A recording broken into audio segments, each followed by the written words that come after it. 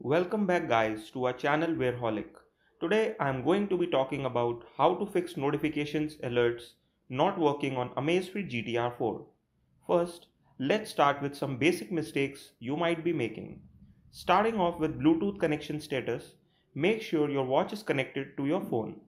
Otherwise, you won't be able to see notifications on your Amazfit GTR 4. The next option that you need to look into is to make sure you have granted notification access to the Zepp app. Without notifications access, the Zepp app will not be able to read your notifications and send them to your phone.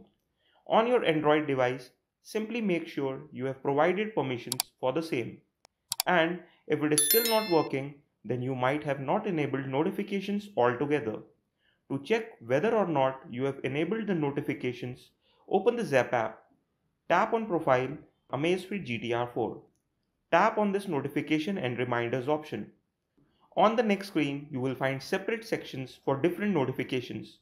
Here, you can see whether or not you have enabled notification sync for calls, app alerts, sedimentary reminder, SMS or goal notifications. Now open the option you are not getting notifications from and make sure you have enabled it. In the apps notification section, you can see which apps you have enabled notifications for. Also, make sure to check whether or not you have enabled this toggle.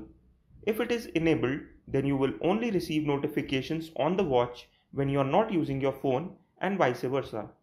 If you are an iPhone user and you are also facing the same issue, then you might need to look into Bluetooth settings. On iOS devices, open Bluetooth, go to connected devices, open Amazfit GTR 4 and make sure you have toggled on the show system notification option here. Without this option, your iPhone will not sync notifications to your Amazfit GTR 4.